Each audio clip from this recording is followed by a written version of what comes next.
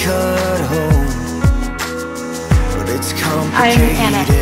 Uh, Jeremy. So complicated. Somewhere in the city is a road I know where we could make it. You love someone so much that you would do anything to spend all of eternity with him. I want to understand why people were labeled as vampires back in the day. I mean, maybe there is such a thing as vampires. They're just different from the way we always thought they were. What do you mean? Maybe they're normal and good. Water under the bridge, you said it, I get it, I guess it is what it is. I was only trying to bury the I made you cry, yeah. I can't stop the crying.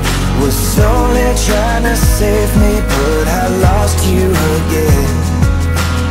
Now there's only lying. Wish I could say it's only me. Anna's dead. Too long we've been denied. What do you think of him?